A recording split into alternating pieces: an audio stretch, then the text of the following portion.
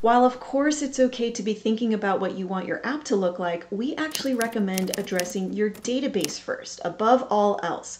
You know, most applications that are interactive are very data driven. So if you address the architecture of your data, how you organize it all behind the scenes, it's going to put you in a much better position to put together your logic as well as your designs. You know, your data structure does inform both of those other aspects of the app.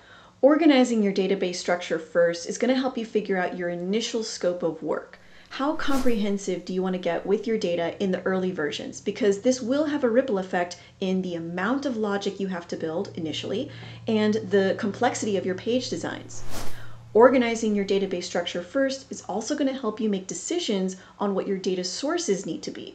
Is all of your data going to be user generated through inputs that you've designed on your pages?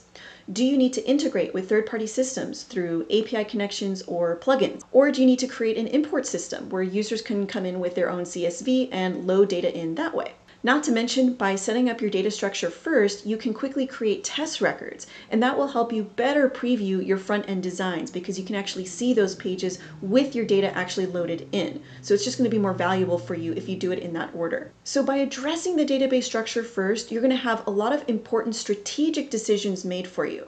You'll figure out what the highest priorities are in terms of your core features. You won't spread yourself too thin on tackling too much at once.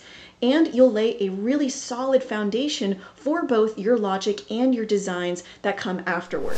And don't get me wrong, your database structure will evolve over time. You'll return to it and make tweaks as you get feedback from your users, as you want to make improvements or introduce new features. So this is something that will continue to change. You're not going to build it once and then just leave it alone forever. But it is the area that you want to start with because of how much of an effect it can have in the rest of the application.